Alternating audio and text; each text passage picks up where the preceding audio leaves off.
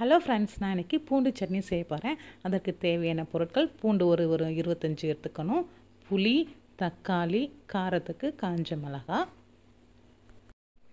இதெல்லாம் எடுத்துக்கணும். அடுத்து ஒரு வானிலில் ஒரு ஸ்பூன் எண்ணெய் ஊற்றிட்டு பூண்டு போட்டு வதக்கிக்கணும். அடுத்து பூண்டு வதங்கினதுக்கப்புறம் காஞ்ச மிளகா தக்காளி புளி எல்லாம் போட்டு நல்லா வதக்கிக்கணும். அடுத்து தேவையான அளவு வந்து உப்பு வந்து போட்டுக்கணும்.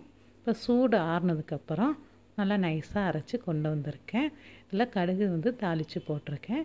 நமக்கு சுவையான பூண்டு சட்னி வந்து ரெடி ஆயிடுச்சு. Salem cooking time channel like share comment subscribe பண்ணுங்கள்